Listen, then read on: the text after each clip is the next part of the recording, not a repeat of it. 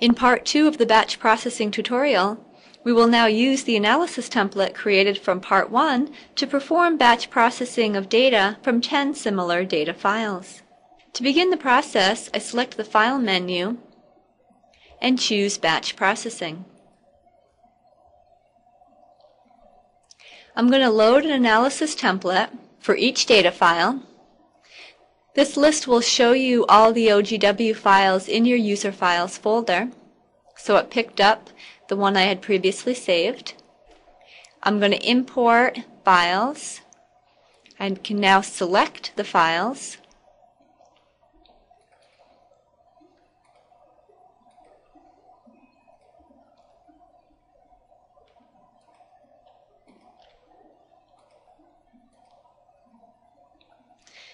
The data sheet is the first sheet, the one we renamed raw data, and the one in which each data file will be imported into.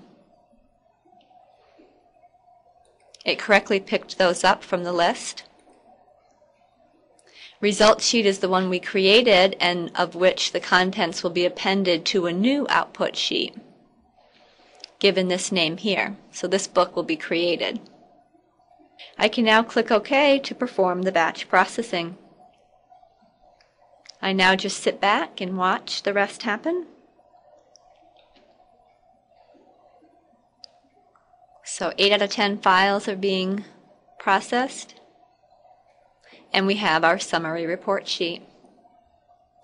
I can double click here to expand so it'll auto it'll auto adjust the width. I could have saved my summary sheet with long names here so I could have labeled this as file name, peak center, peak height, and then that would have carried over as well in my report sheet. And if you wish to turn on spark lines, we could do that.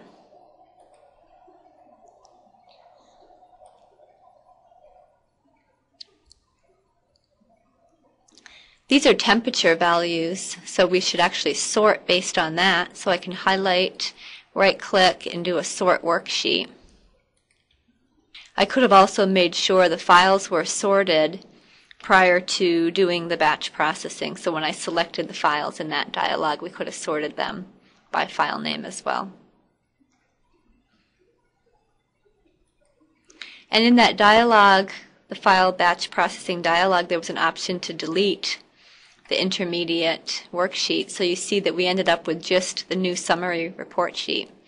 We could have also kept the results from each data file if we wanted. But you'll see now without any programming that it's very easy to perform batch processing of your data files. This concludes this tutorial. Thank you for watching.